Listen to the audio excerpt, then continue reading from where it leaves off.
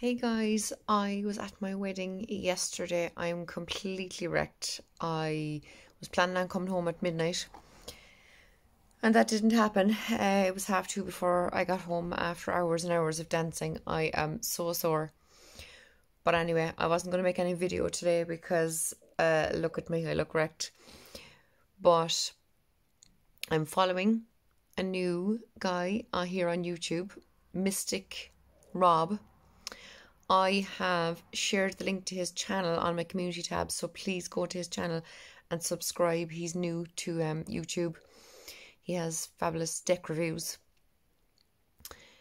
Um, I just saw a video, a deck review he posted three or four days ago, and I asked him a question about it, and he, he didn't know what I meant, so I told him it would be easier for me to make a, a quick video explaining myself. So this is the deck, this is the box he was shown, right?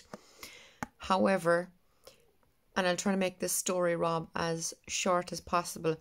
You have the same box, but I noticed immediately when you started your deck review that you have a red table on the front of the box. So this original deck has a brown table, okay? So that's the first telltale sign that this is the right deck. Now, you you obviously don't know about this deck, so you I'm guessing you knew what you were ordering, right? But what happened was now this is just what I heard at the time when this was printed a few years ago. Um I don't know how accurate this is, but this is what a lot of people were saying. So this deck came out, it has beautiful colouring to it, right? Beautiful ambient colouring as everyone was saying. Um and there was massive FOMO within the tarot tube community over wanting this deck, right? But what happened was, what I heard happened was, I don't know how accurate it is, was that Lo Scarabeo printed it without copyright from some other printing company, right? That's what I heard. This one, because of the beautiful colouring, and again, I don't understand the nickname, but it was nicknamed the Dirty Pam, and people all over the world wanted the Dirty Pam because they were in love with the colouring of the cards, right? But because there was trouble over the printing, allegedly, there was only the one printing, so people all over the world wanted it and couldn't get their hands on it. I found it through a Japanese seller on Etsy I paid, I believe, 68 euro for it. She obviously had bought a load of decks to sell on to make money from, which is what people do anyway. I can understand that. So I paid 68 euro for it, I believe. Um, and then I had about 20 euro shipping from Japan.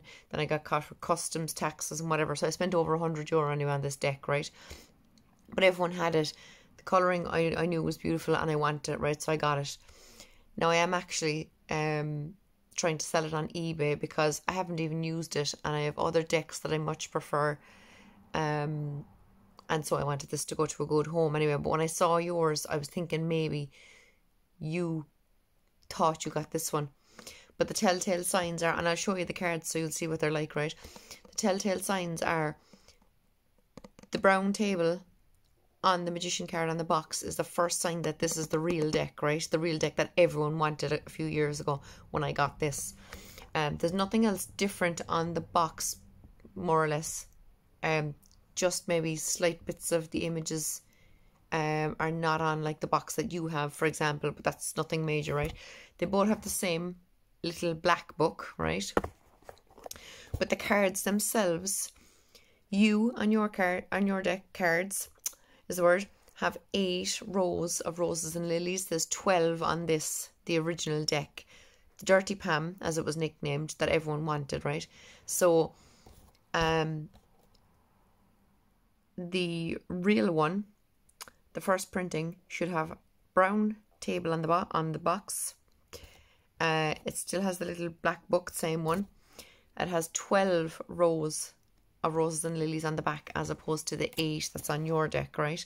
And look at the colouring. The colouring is stunning. Like, I really wanted this deck, but sure, I haven't been using it. So look at the colouring of that. I mean, that's just gorgeous, you know? Very different to the original um, images. Just brings them to life more, you know? I'm just going to fly through them and show you. Uh, I mean, look at this. This is just stunning.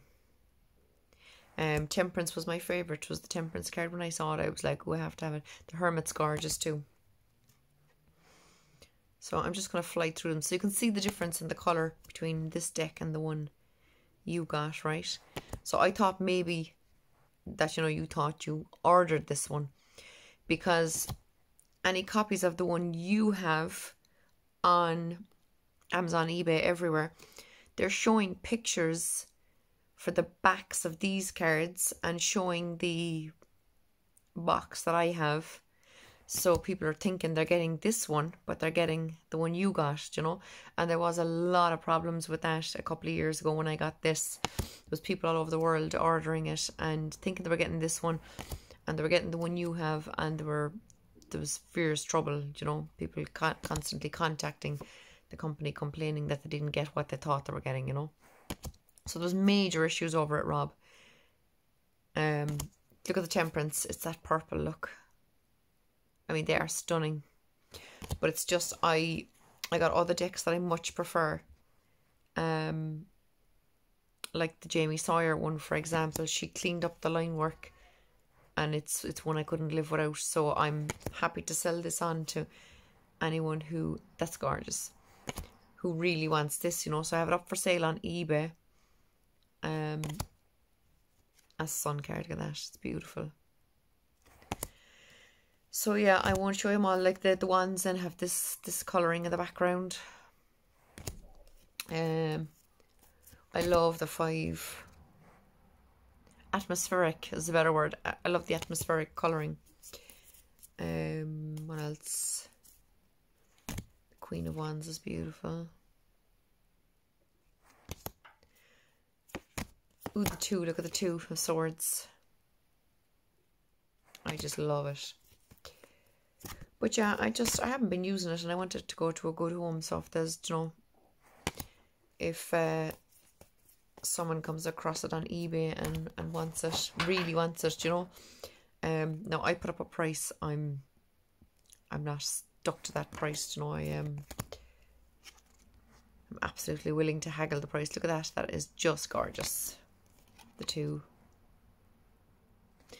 So yeah, that's the story. That's why I asked you the question. Um, if if if the one you got was not the deck you thought you were getting, because people are still ordering what they think is this deck, but because of the dodgy images people are putting up on Amazon and eBay and stuff, they're getting your deck and they're you know disappointed that because it's not the one they wanted. You know. I just think colouring is beautiful. So yeah, that's the story. One of my favourite cards. Look, the 8. I love it. And my favourite queen. I love her. So yeah, that's what I was referring to with that question. So I just said it'd be easier to make a little video um, and explain to you what the name of God I was on about. So let me know what you think. Thanks, Rob. Bye. Everyone, check out Rob's channel. Uh, link is in my community tab. Thanks, guys. Bye.